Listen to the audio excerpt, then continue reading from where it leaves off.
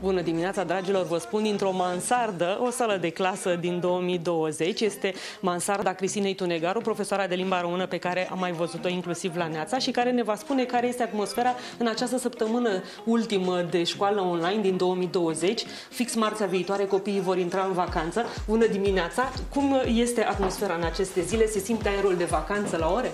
Bună dimineața! Uh, se simte, aș putea spune, însă copiii simt dorința să se întoarcă la școală. Uh, în perioada aceasta ei se pregăteau de sărbări, își pregăteau clasele, da, le pregăteau pentru Crăciun și lucrurile acestea nu se întâmplă din păcate acum. Uh, se simte nevoia copiilor de a fi unii cu ceilalți, mai ales în această perioadă înainte de vacanță, când ei, v-am uh, spus, simțeau o altă atmosferă, o atmosferă festivă. Deja ar trebui să vorbim și de note, pentru că sunt patru luni de când am început școala. Spuneți-ne dacă elevii dumneavoastră au toți note, dacă au fost și absențe și din acest motiv n-ați putut să-i punctați. Exact, în perioada aceasta încă sunt evaluări, dar știu copiii care, nu, nu elevii mei, dar știu copii care uh, în perioada aceasta încă au teste și dau teste în sistem online. Evaluarea în semestrul acesta s-a făcut uh, pe mai multe planuri, s-a făcut și evaluare clasică, dar prin, uh, prin intermediul conexiunii la internet, adică copilul a vorbit cu profesorul, s-a făcut și evaluare scrisă, s-a făcut și evaluare prin proiecte.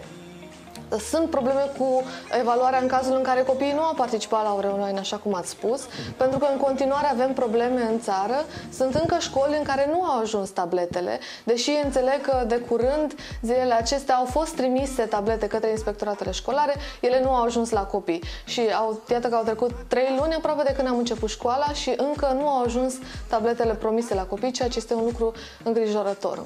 Suntem într-o sală de clasă creată ad hoc, unde avem și tablă, avem și laptop, Așa avem toate uneltele necesare desfășurării unei uh, ore în 2020, însă nu avem catalogul. Cum se punctează copiii dacă uh, elevii, uh, părinții pot să vadă notele în sistemul online? Fiecare profesor are sistemul propriu de notare. Unii profesori își notează pe agenda și apoi transferă notele. Important este ca părinții să discute cu profesorii, să păstreze o legătură constantă și ceea ce cred eu că am învățat noi în perioada aceasta, în perioada în care am lucrat online din martie până acum, este că Școala nu lucrează doar cu elevul, ci cu familia întreagă. Și părinții trebuie să participe la educație. Și mă bucur că văd tot mai mulți părinți implicați. Spuneți-ne când credeți că veți reveni la ore și dumneavoastră și elevii? Nu știu, eu sper că de curând îmi doresc să, să revenim la școala clasică pentru că școala clasică asigură șanse uh, la educație tuturor copiilor și cred eu că uh, dacă avem uh, condițiile sanitare să facem lucrul acesta, trebuie să o facem. Cu cât ne întoarcem mai repede la școală, e cu atât mai bine pentru noi toți, pentru întreaga societate.